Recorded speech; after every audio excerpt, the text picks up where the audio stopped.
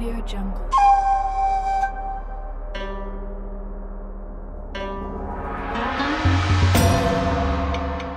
Mừng Tết đến và bên nhà nhà cái mặt lòng thăm thắm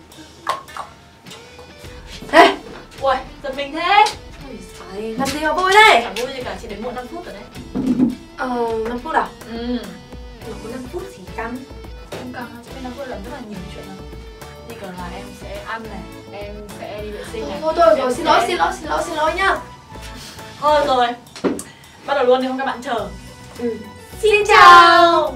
Chào mừng tất cả các game thủ yêu quý đã quay trở lại với bản tin Game Mobile số đặc biệt ngày hôm nay Nhìn xung quanh đây các bạn có thể thấy rằng là bản tin hôm nay rất là biệt đúng không? Thì mấy giờ nữa thôi là đến giao thừa rồi. Hôm nay bản tin sẽ không dẫn về những tin hot nhất trong tuần vừa qua nữa. Mà Hạnh và Hương cùng các bạn sẽ ôn lại một năm qua với những sự kiện phá đảo thế giới ảo và những game hay hot nhất. Và có thể giới thiệu thêm một số game các bạn có thể chơi trong dịp Tết này. Nào, bây giờ chúng ta cùng đi thôi!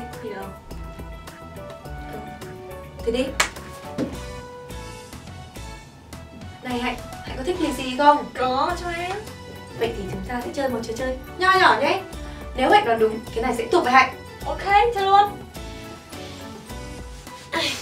Trên tay chị là một tờ giấy chứa nội dung về ba sự kiện game trong nước để đánh giá là đình đám nhất năm 2016.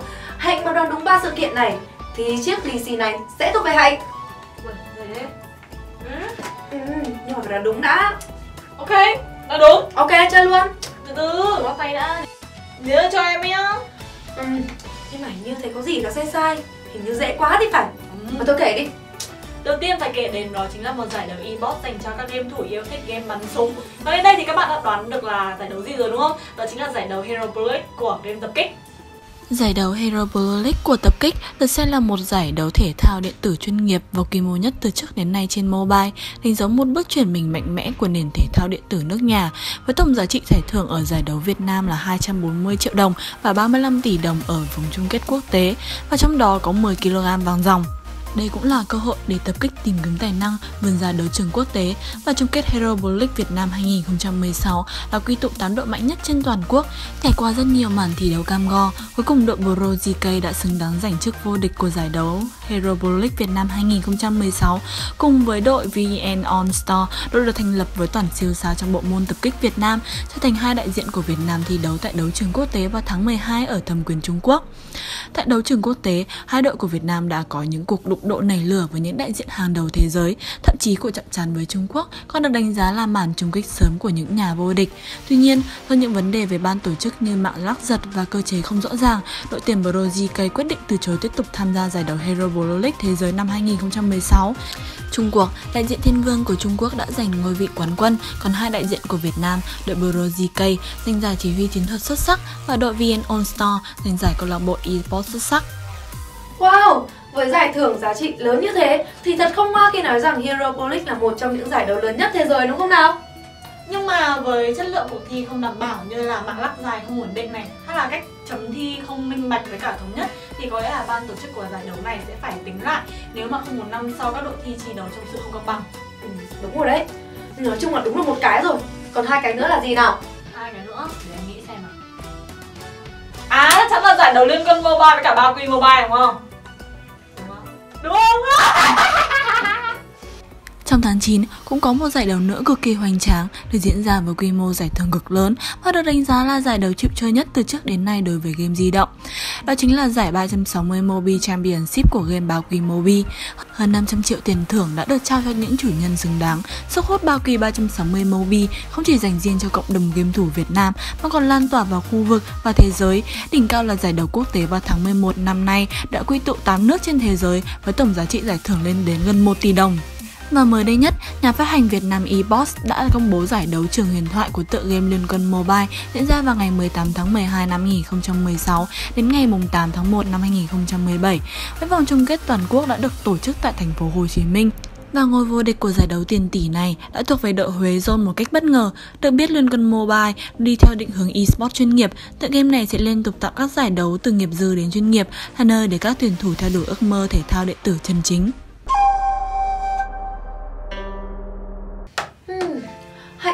Gì mà thông minh thế nhỉ?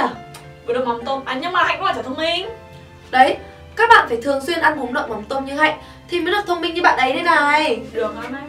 ừ, Chị vẫn được mà Lì xì em được à? Vẫn tay Thế chị muốn nhận lì xì của em không? Ờ, có Có Thế chơi một trò chơi nhá Ừ, lại cũng chơi à? Ừ. À, trên tay em bây giờ đây là những game hot nhất trong năm 2016 vừa qua em sẽ đọc mô tả chị sẽ đoán đúng tên game đấy thì sẽ được nhận lì xì. Ui, dày thế. Để bục chun đi à? đoán đúng đi rồi nhận Ok, chơi luôn. Ok chơi luôn. Ok game số 1 đây là một tựa game có tên gốc tiếng Trung là Toàn dân thương chiến. Có thể xem là một trong những tựa game FPS trực tuyến hấp dẫn nhất và cân bằng nhất hiện nay. Ui, toàn dân thương chiến. Nghe có vẻ lạ nhỉ? Ừ. Ở đâu? Nhưng mà nhắc đấy là một trong những tựa game FPS hay nhất năm 2016 Thì chắc chắn là tập kích rồi Mặc dù mới được ra mắt không lâu, nhưng tập kích đã thu hút được hơn 10 triệu lượt chơi mỗi ngày và hiện đang tiếp tục gây sốt cộng đồng game thủ di động. Tập kích mang trong mình nhiều chế độ chơi hấp dẫn, từ solo để giúp game thủ mới luyện tập nâng cao trình độ trước khi chiến đấu, hay chế độ multiplayer với nhiều địa điểm chiến đấu cùng số lượng nhóm chiến lên tới 8 người, tùy thuộc vào thứ hạng trên bảng xếp hạng. Và cuối cùng là chế độ rank match, nơi dành cho những ai muốn thăng hạng khi liên tiếp giành chiến thắng trước gamer khác. Nên đồ họa được thiết kế rất đẹp và chi tiết, hình ảnh sắc nét, số lượng trang bị phong phú, bao gồm hàng tá súng ống tối tân, được thiết kế giống như nguyên bản ngoài đời thực để bạn thỏa sức lựa chọn, sưu tầm là những điểm nổi bật của tập kích. Ui, sao chị siêu ấy? Thì vừa mới nhắc đến tập kích trước đó xong Không có lý gì là không đoán được ra. Ok, ok. Vậy tiếp nhá, game số 2 là một game mobile 3D thuộc thể loại MOBA có đề tài là ma ảo và được đánh giá là cực kỳ giống Liên minh huyền thoại của Arena Việt Nam. Nói chưa? Thế nào đoán ra chưa? Chưa, thêm gợi ý đi tên tiếng Anh là League of King. Ôi giời ơi Biết ngay mà Nào game gì ạ? Nói đến League of King thì biết luôn là Liên quân Mobile rồi Đúng chưa? Đúng. Liên quân huyền thoại Liên quân mobile là một phiên bản game MOBA trên di động đúng nghĩa của Liên minh huyền thoại. Bởi ngoài lối chơi tương tự, game còn có một số thứ như item, phép bổ trợ và danh sách tướng được bê dựng nguyên bản từ Liên minh huyền thoại sang. Dù vậy, game có điểm tối ưu, cải tiến một số chỗ để trở nên gọn nhẹ, dễ thao tác hơn trên nền tảng di động. Theo đó, mỗi nhân vật trong game đều sở hữu một bộ skill cùng đặc điểm sức mạnh riêng biệt để có thể được người chơi nâng cấp và tùy biến theo ý muốn trong trận đấu. Từ đó, mọi thứ trong liên quân huyền thoại đều có thể xảy ra với vô vàn sự sáng tạo về mặt chiến thuật, hướng lên đồ cho tướng. Chính điều này sẽ đem lại những trận đấu MOBA đầy hấp dẫn và kịch tính không thể đoán trước.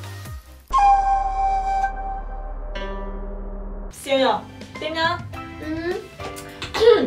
Đây là một tựa game RPG được Vina Game phát hành tại Việt Nam năm 2016 dựa trên một bộ tiểu thuyết cực kỳ nổi tiếng và là một trong những thương hiệu game online lâu đời nhất của Trung Quốc này đã được đưa lên mobile. Đơn giản Câu này quá dễ, không xứng tầm của chị Toàn đi! Ơ, Đây là Võ Lâm Truyền Kỳ Mobile chắc? Đúng chưa? Chưa chắc phải câu trả lời của mình à? Chắc chắn Chắc chưa? Cực chắc chắn luôn Võ Lâm Truyền Kỳ Mobile là một sản phẩm có chất lượng cao và đáng để chơi thử qua. Từ phương diện hình ảnh cho tới gameplay đều thể hiện được sự quyết tâm và cẩn thận của đội ngũ phát triển nhằm tiếp tục khai thác thành công và danh tiếng của một trong những thương hiệu game online lâu đời nhất Trung Quốc. Khác với các tựa game mobile online cùng thể loại khác, Võ Lâm Truyền Kỳ Mobile tập trung vào một cơ chế gameplay thuần RPG với hệ thống đánh quái cải cấp ở cả map, dã ngoại lẫn cả phó bản. Đi cùng những tính năng quen thuộc như cường hóa, chế tạo, thú cưỡi, luyện skill, chế đồ, Bên cạnh những điểm đặc sắc của Võ Lâm Truyền Kỳ, kiếm thế trên PC sẽ không hề bị mất đi trong Võ Lâm Truyền Kỳ Mobile như hệ thống chiến trường Tống Kim, ngũ hành tương sinh tương khắc, hệ thống thú cưỡi, thất đại thành thị, thập đại môn phái, lửa trại, sandbox, bạch hổ đường và game còn thêm vào tính năng trợ thủ đặc trưng của dòng game mobile online nhập vào Trung Quốc hiện nay. Còn một game nữa thôi Một game duy nhất, một game duy nhất Nếu mà chị đoán đúng thì sẽ, sẽ được nhận được quả bao lì xì này Thật á? Thật nói nhanh, nói nhanh, nói luôn đi Ok ừ. Game gì mà cũng dựa trên một câu chuyện nổi tiếng của Trung Quốc này Được phát hành bởi Nam Mota Và suốt ngày thì up like up lủng sang chảnh á. Ờ, Kamota nhiều game mà. Mà game nào chẳng apply sang chảnh? Nói thế mà biết. Ờ ok vậy thì em cho chị thêm một gợi ý bé bé nhá. Ừ, Được, được ấy. Uhm, Game này liên quan đến một đao và một kiếm. Một đao một kiếm. Một đao một kiếm là gì nhỉ?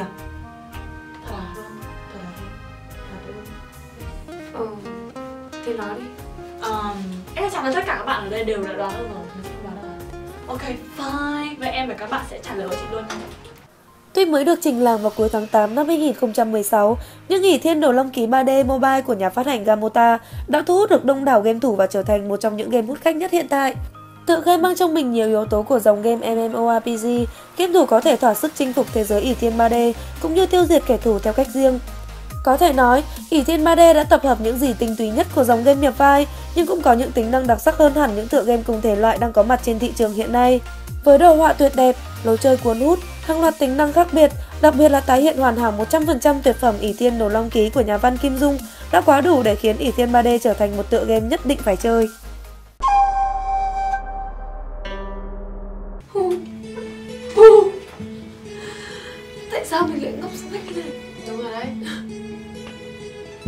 Sao ông trời nó bất công với như thế? Tại sao Hân có lý gì? Tại sao? Rồi rồi rồi rồi thôi thôi Rồi do chị cũng trả lời được 3 phần tư câu rồi thôi thì em không lì xì chị ạ Thật á? Cho chị thật á? Ừ Ui, Hạnh vừa học phòng công tác hiểu rồi nhờ rồi rồi rồi rồi rồi rồi rồi minh và giấc ngủ là Ui. Dày thế Hạnh đúng là đại gia có khác Có khác hẳn người bình thường ấy nhở? Ừ, ừ. Chị bóc nhá Em mua nhiều lắm chỉ có mấy trăm cây vàng mà Hả? Thôi rồi thôi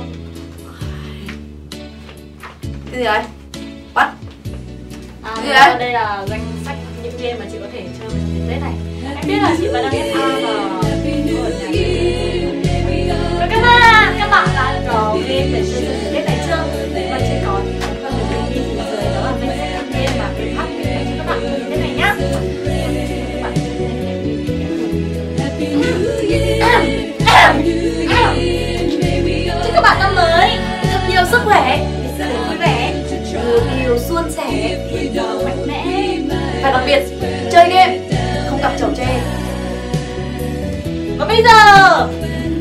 笑吧